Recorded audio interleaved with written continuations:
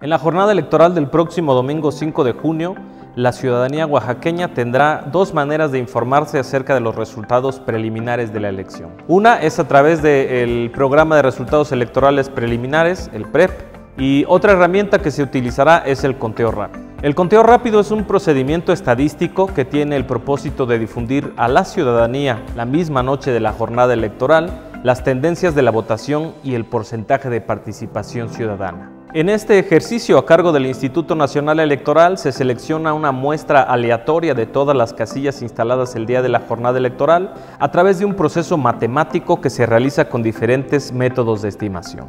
A diferencia de las encuestas de salida, el conteo rápido no se basa en entrevistas hechas a personas fuera de las casillas sobre el sentido de su voto, sino que se consideran los datos que personas funcionarias de casilla asienten en los cuadernillos para hacer las operaciones de escrutinio y cómputo de casillas. Es decir, luego de haber contado uno por uno los votos emitidos por la ciudadanía para la elección de la gobernatura. Tanto la precisión como la confiabilidad de los resultados de un conteo rápido dependen de un proceso matemático que se realiza con diferentes métodos estadísticos y el objetivo general es contribuir a dar certidumbre, confianza y transparencia al proceso electoral. El Comité Técnico Asesor del Conteo Rápido, COTECORA, está integrado por especialistas en la materia y determinó el tamaño de muestra o número de casillas a emplearse en cada entidad con elección de la gobernatura. En Oaxaca serán 650 casillas. Es importante que sepas que debido al tiempo que toma a las funcionarias y funcionarios de casilla realizar el cómputo de los votos y a que algunas personas capacitadoras asistentes electorales puedan tener asignadas más de una casilla